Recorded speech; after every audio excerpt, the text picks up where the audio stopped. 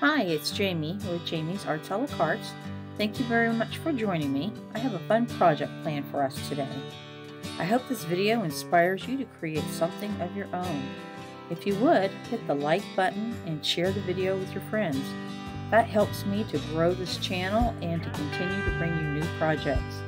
If you haven't subscribed yet, would you please consider subscribing? And if you have, thank you very much. Well, we have a lot to do, so let's get to it. It's Jamie with Jamie's Arts a la carte. Thank you so much for joining me today. I have got a patriotic project for us today. I'm going to do a little twist on the 4th of July wreath. I'm going to use these square frames that I got from the Dollar Tree. I've got a couple different signs. So God Bless America in red and blue. I have these signs that we started to use uh, on the other video. So I've got these to choose from also. I want to do the poof method because uh, this is from Dollar Tree and it tends to ravel quite a bit, right? So that's one way to combat that. I'm going to use a lot of chenille stems. I did, I do have wire ties. So if I'm putting a, a larger, like maybe the sign, right, up here to attach it, I might use that. But for the most part, I want to attach everything with these uh, red chenilles because it does the job and it adds color, right? So I like that. Uh, I've got this uh, deco mesh and I've got enough for two, right? So I've got all these different little ribbons. All this is Dollar Tree, so I was, I'm happy. Isn't that cute? So that means, will I go with the red truck or maybe I'll do the blue to, to, to contrast it? I don't know. I'm, I'm leaning towards red. Same one. Stars on this burlap. I like that. And then the other that says USA. So that's nice. I've got some of this red tubing. It tends to work as that centerpiece well, right? So uh, these will not be out in the open open. Oh, I do have these. Not sure if I'm going to use these or not. I'll play that one by ear. We only had one blue one left. That's a pretty blue, isn't it? So we'll see. See if we use those. All right, I'm going to begin by taking everything out of the wrapper. And uh, no cutting, which is a nice thing with the deco mesh, right? But um, I do want to go ahead and get everything taken apart.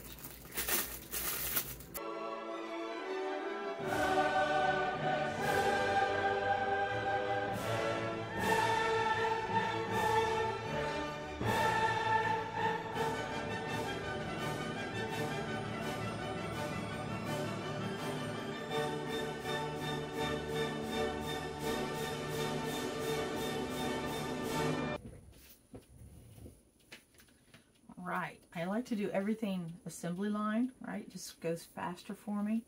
So I've cut all of our ribbon and I've dovetailed it. That's what that means.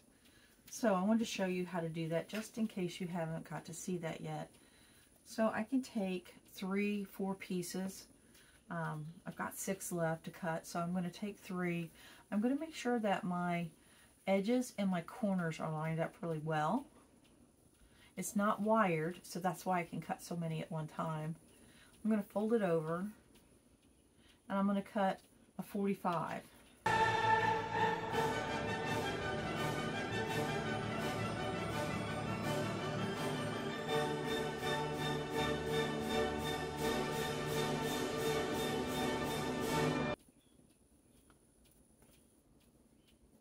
Alright, last dovetail.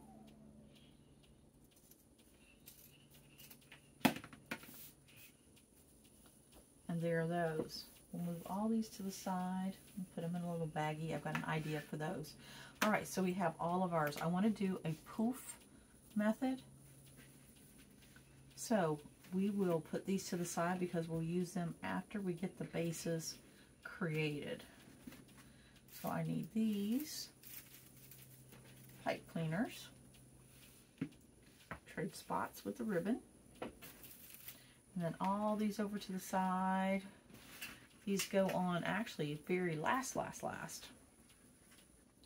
Did end up with uh, just some uh, random links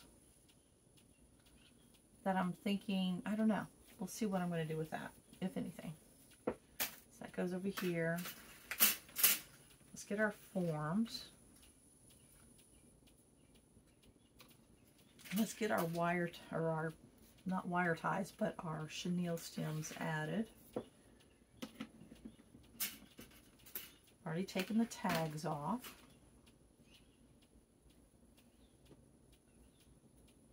Oh, got a little black piece stuck up in there. Okay. I like to use these cross beams, but I need to go in between two. So what I'm going to do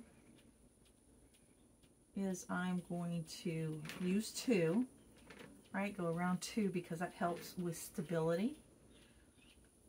So I'm going to do something like this, get them even, and then just do a twist, right? So some will come in and some will go out.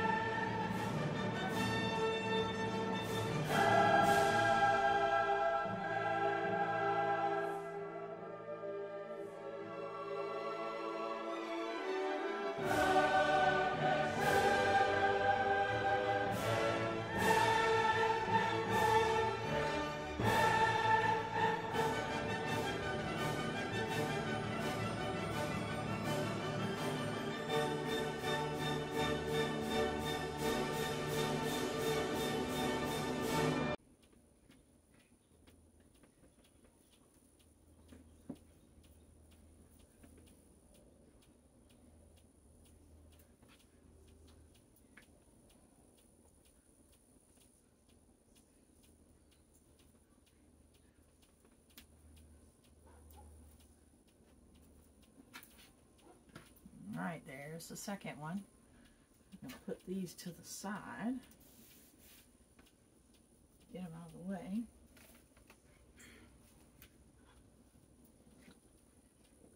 And again, we're gonna do the poof style. And we're gonna do like 11 inch poofs. And so I did 11 inch on this, 10 inches on all the ribbon that I cut, and then I cut these at 8. So there would be like a little staggered kind of look there. That's the intention. So let's see. Oh, I think this is where I'm going to use these.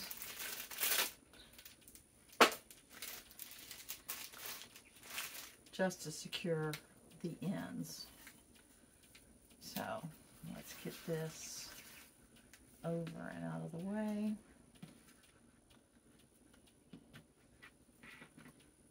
And we're going to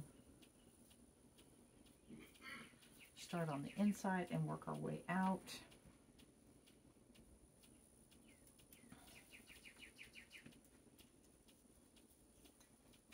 So basically I'm just going to get it in here, going to give it a good twist. And I'm going to come over here and wire tie this on. I'm going to wait until um, I get around. So what I saw online, and that's one thing I don't like about this deco mesh. Okay, so I'm going to put this over here so that I can see 11 inches, right? So right here, I want to go down to here, right? That way I don't have to count, I don't have to measure. I can just use my, my mat here as my measuring piece. So I'm going to go here, get all of our little pieces in there, and I'm going to put it super tight because we're going to go around and around and around until it is as full as we want it to be. Just let that go down to the floor.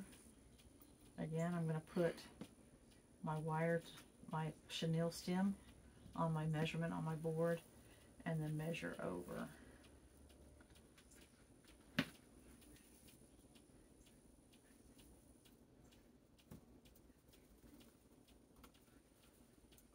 I just keep going around and around and around. The key is to line this up with my measurement. So my chenille, I'm putting on 4 and then going to 15. So here, here, put it between the two, and then just give it a, a good hard twist, right? A tight twist, I should say. Move it over because we're now at the next one. And I'm going to have plenty. I'm going to go around more than once.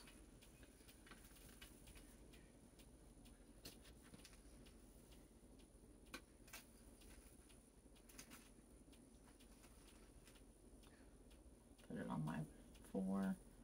Come over. Excuse me. I'm, I'm kind of cinching it, so pinching it together right here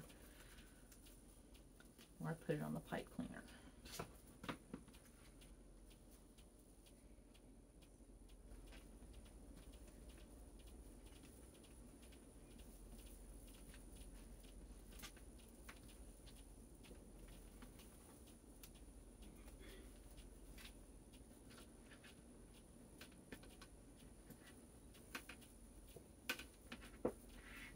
back where I started.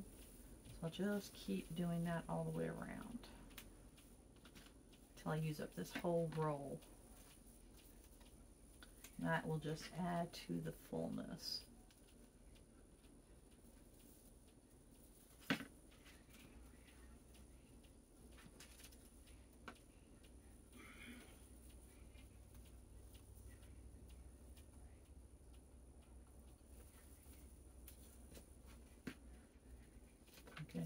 Close. We're getting close to the end, so go ahead. I'm going to unroll it because sometimes it has staples, and it does. So then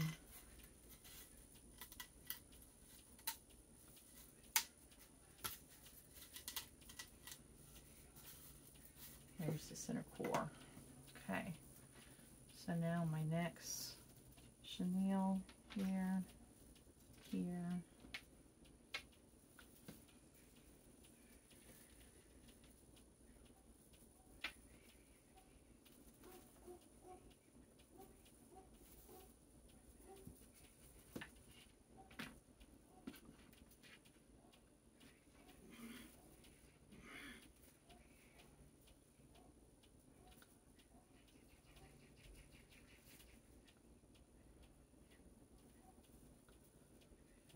right, so then we're just going to tuck that tail to the back and then we'll see where we're at at the end. I'm going to go ahead and start right here where I ended and do all the way back to where I have where I start with two and then jump to the outside. That way I can get the same amount of fullness everywhere on the wreath. So again, I'm going to just give it several inches, tuck it to the back,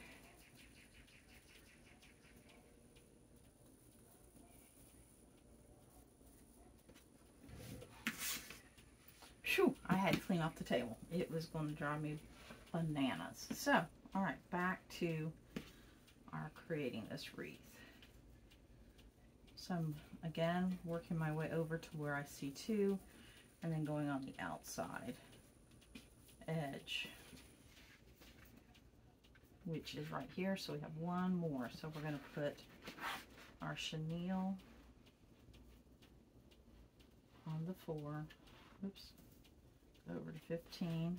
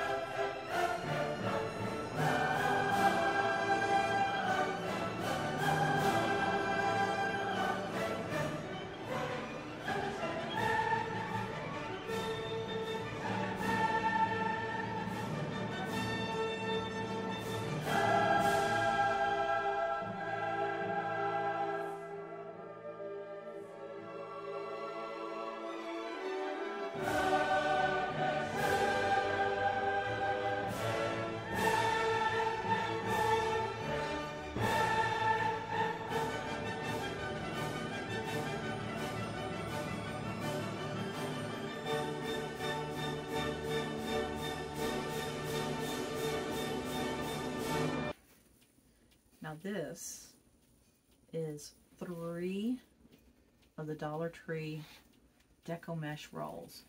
So using this poof method, look how full that is, all right? So what I'm going to do now is I'm going to put the red, start the red. So let's find our end. Loves to stick to itself, right? It's all tangled up on itself.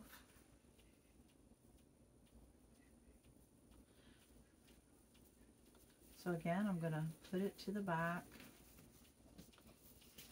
I am going to do uh, a few on the outside. Well, you know what? I'm going to start on the inside. And why am I going to start on the inside? Because I want to be able to uh, spread this red out a little bit. Actually, I want to do blue first. Right, and then the red on the top. I think that'll be pretty. So, this has a, a sparkly in it, which is nice. So again, we're going to push it to the back.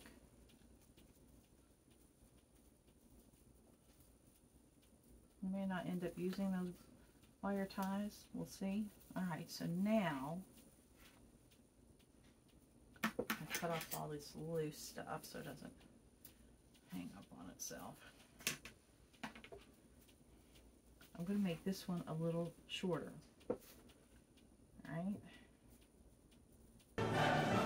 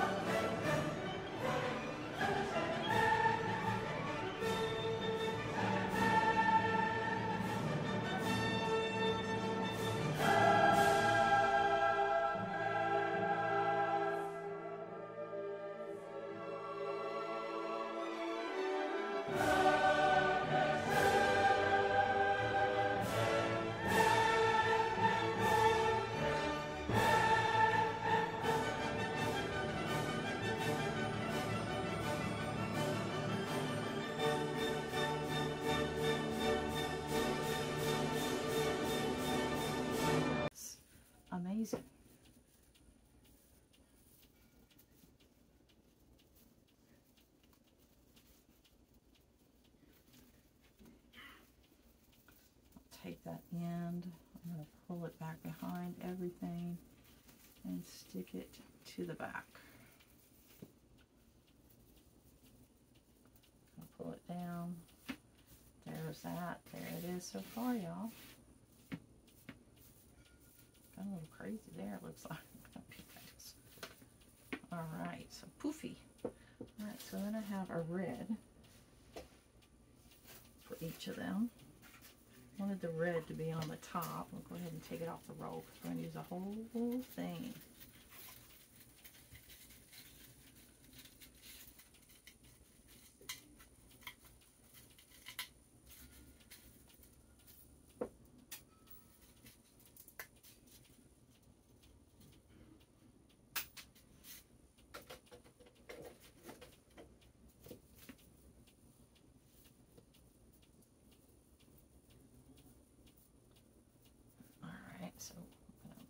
gather it together.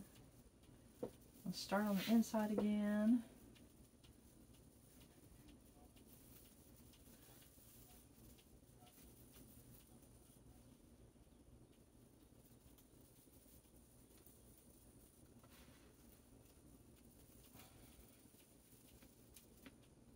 Okay, I'm going to take this and weave it down and through where I can pull it and have it come to the back.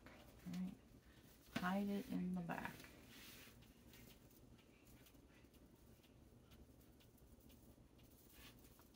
Alright. So now I'm going to spread them apart again. That way I can get the red, red and the blue to set on top.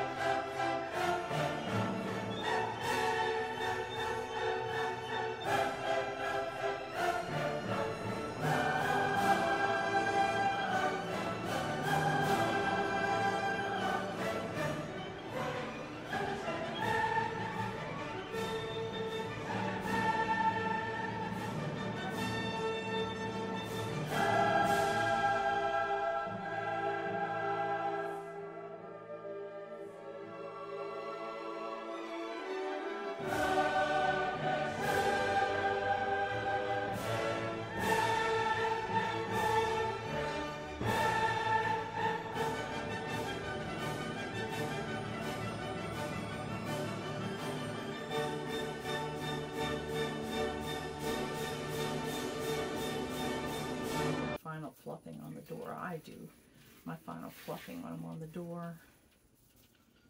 These will actually go out into a porch area.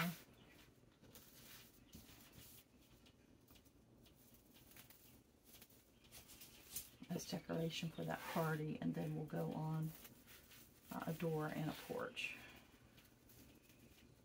I'm just fluffing, spreading those colors out. Okay, so there is one wreath. I'm to go ahead and get rid of my little stragglies. Alright, so now we want to look at our ribbon. We know we've got 10 for each one. So let's make 10 little bundles.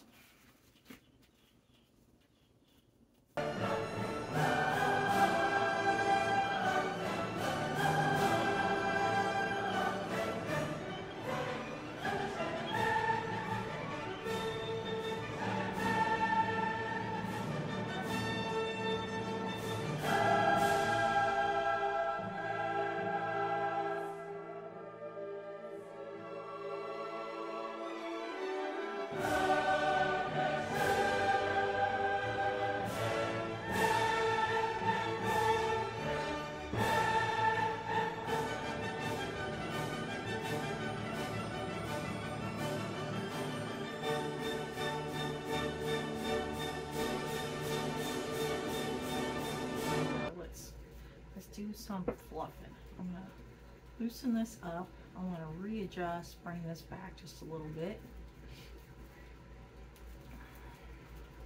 So that that can fluff a little better.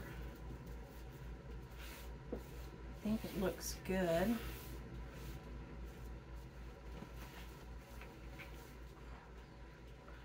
Okay, let's start adding Let's see how this is gonna go. So I have it all on top of each other, right? And then I'm gonna put these three things. I am gonna make the little twisted ends go opposite directions. And then I'm going to pinch, right, something like that. And I'm going to try to turn it different, like 90 to what the ribbon is. That's just going to be for another additional um, layer, right? So then let me just look. And then we can spread these out. Oh, why do I only have two? Oh. Look what I did, y'all. Great balls of fire. I only have two of the ribbons on there. I'm so excited. Oh, it's right there. I did I did the rest right. I just missed picking it up. I'm gonna lay them on top of each other because then I'm gonna spread them out once I get them twisted onto the wreath. I'm gonna get them there and then I'm gonna pinch them, right? And what I was saying is like if it's going this way, I want it to be opposite of the wires like 90 degrees so that when I come in here and I twist it,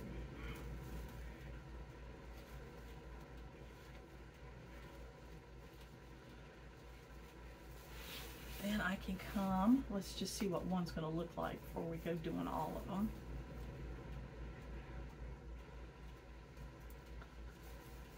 we're going to make them go opposite directions. So they'll look something like that kind of like that.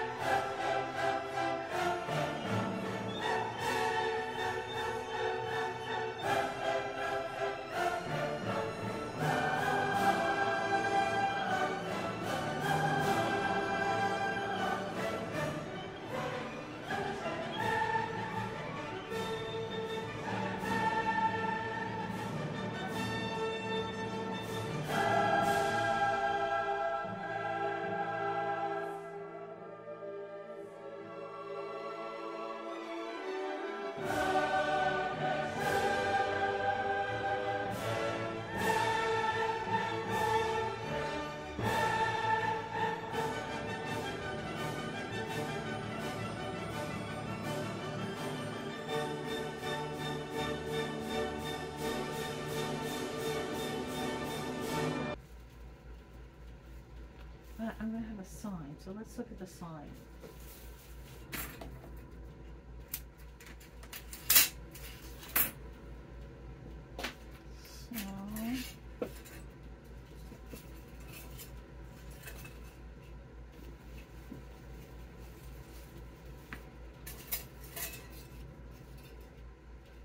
Sign will get lost.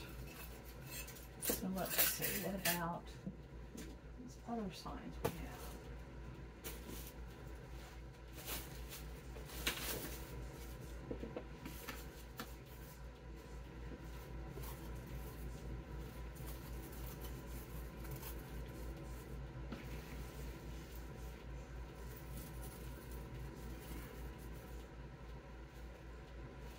too small, right?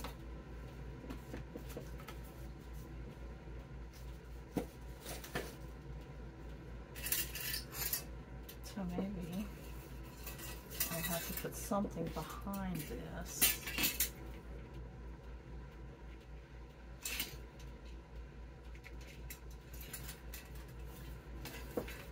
All right, we gotta look at the door. Gotta look at it on the door. Right.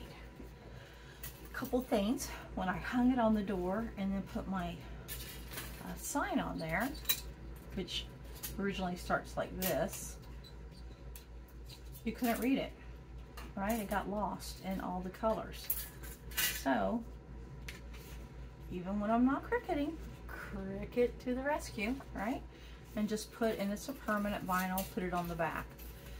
Also, uh, when I was just looking at it, seeing, you know, I went ahead and used the other two, filled it in. But then I decided I don't really like this red all over the place. So what I'm going to do is I'm going to come and I'm going to tuck all the red. There'll be a little piece of red, but not much. And I'll have to redo my bows.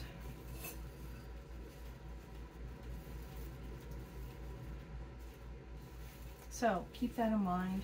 I'm glad I used red uh, so I could hide it easy.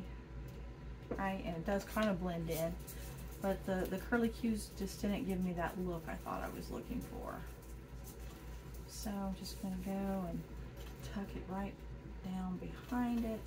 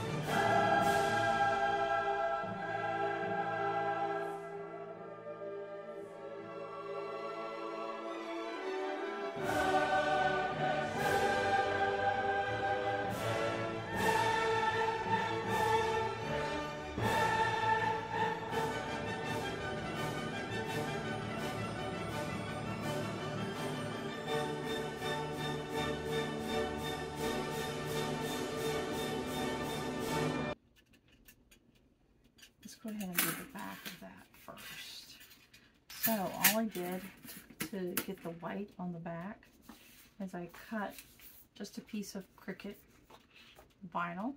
And I did use permanent because it does it's going to be outside a little bit. And so basically I want to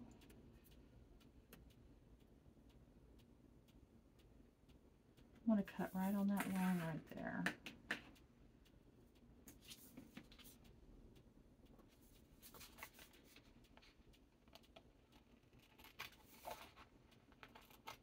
It will be sticky in the openings of the letters, but that's not going to really bother. I mean, that doesn't bother me, but it is. It's more important from my perspective for it to be um, as weather resistant as possible. So basically you just spin the corner down, get it going, right? Peel it apart. I do like Cricut because it has the lines. Not every vinyl company does that. So now I just want to cut it too wide, so we're going to trim it. Still super easy to do. I didn't take into account those holes. I'm just going to cut a smidge off.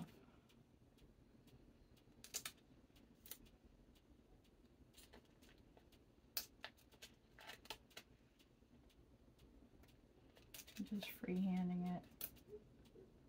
Doesn't really matter.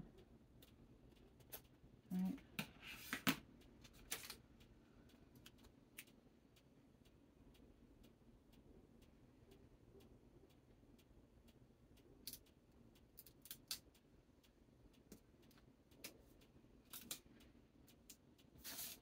see anything. Nothing on the edges or in the holes, so now we can press it down. Right. Flip it back over, and then voila.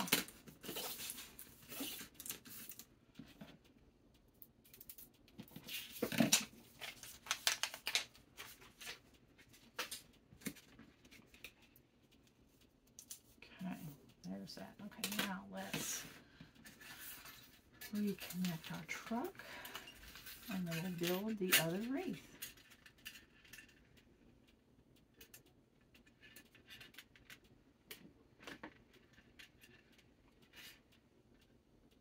Basically, you're just going to bend it down.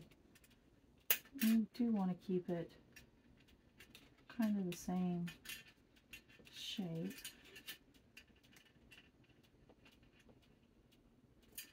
You want to close it though, so you don't have to worry about when you store it, it falls all apart and comes apart. So I am closing it a little tighter than what it came as. I just get in there and I bend it down. So something like that. Mm, jack chain. All right, there's the centerpiece for the second wreath. All right, let's build another wreath. Oh, we almost got to use our Cricut.